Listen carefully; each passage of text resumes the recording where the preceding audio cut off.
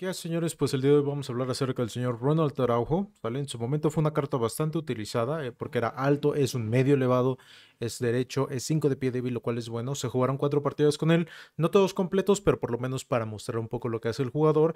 Eh, funciona como defensa central o defensa derecho, creo que por las dos posiciones puede funcionar bastante bien, eh, tiene muy buena velocidad, eh, la defensa es sólida. El físico, si se nota un jugador muy, muy físico. Tomando en cuenta que tiene 85 de energía, yo lo preferiría por el centro. Pero 99 de reacciones, 98 de compostura. Está bien. El jugador es un jugador alto. Un 92 es físico, se nota eso en los movimientos, pero eso no le afecta tanto en la defensa. Es sólido. Siempre y cuando no lo saquen de posición y después quieran corregir, no va a tener ningún problema, porque si no, no va a llegar.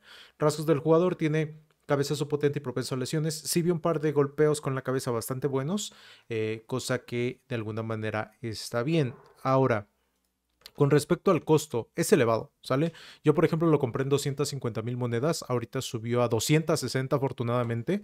Eh, no voy a perder tantas monedas con este jugador. Y lo estuve utilizando en los primeros dos partidos en controlado con motor. Y el hecho de que tenga una mejora en dribbling, ¿sale? Mejora, porque el jugador se siente eh, físico aún así no le ayuda mucho, ¿sale? Es cierto, tiene un poquito más de ritmo, tiene un poquito más de dribbling y tiene un poquito más de pases, pero no los necesita, ¿sale? En el segundo, en el tercer y cuarto partido le di al jugador sombra y no es solamente el hecho de que tenga 99-99 de, de, ritmo, sino que el tipo de carrera le ayuda mucho porque es un jugador alto y físico.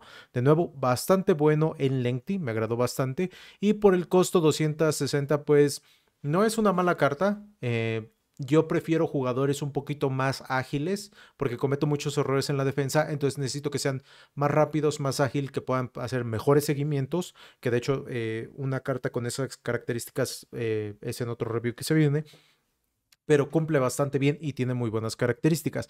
No le vi problema bajo mm, únicamente el, el, asunto es de que es un jugador físico. Y de nuevo, no me, no me caen mal los jugadores físicos, pero prefiero jugadores más ágiles. Pero es una cuestión ya más personal. Pero bueno, vamos a mostrar lo que hice con el jugador dentro del juego y regreso.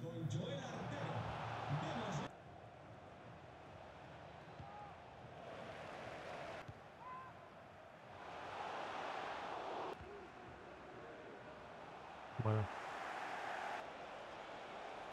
Bueno. Bueno, resuelve.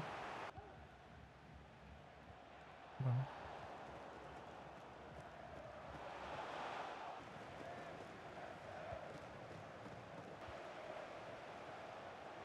Tiene buena altura, tiene buena carrera, se mueve bien. Defensivamente es bastante sólido. Buen salto. Dando buen salto.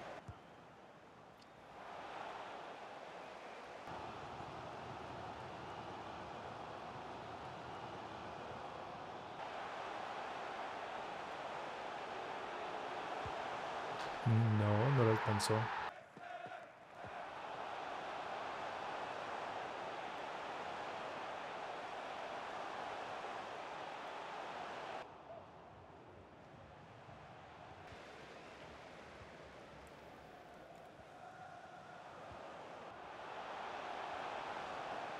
Uy, no, ¿cómo le gana eso?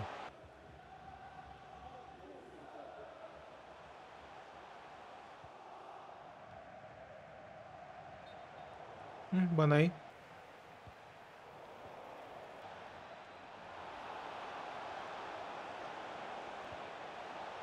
Buena. Buena. Buen salto. Muy buen salto. Buena intercepción ahí. Bueno.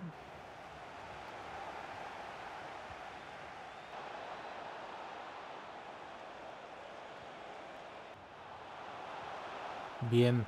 Mete bien el pie, sin problema.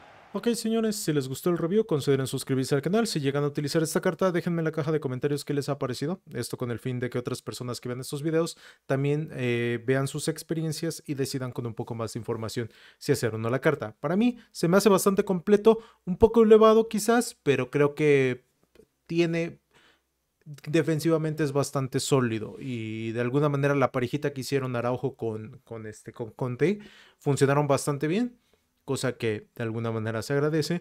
De nuevo, el único detalle que le veo a esta carta es eh, cuestiones de que es un jugador muy físico, pero ya es un aspecto más personal, no afecta en nada. Pero bueno, sería todo. Muchísimas gracias por ver el video y nos vemos en el siguiente.